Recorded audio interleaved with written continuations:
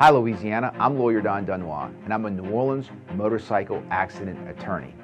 If you've been in an accident while on a motorcycle, give us a call. We'll give you a free consultation. We'll discuss your rights. We'll discuss how the accident happened. We'll discuss your property damage and any injuries you may have. We'll be able to tell you what we can do for you and how the law works. You will leave with an education on the law and a full working knowledge of your rights.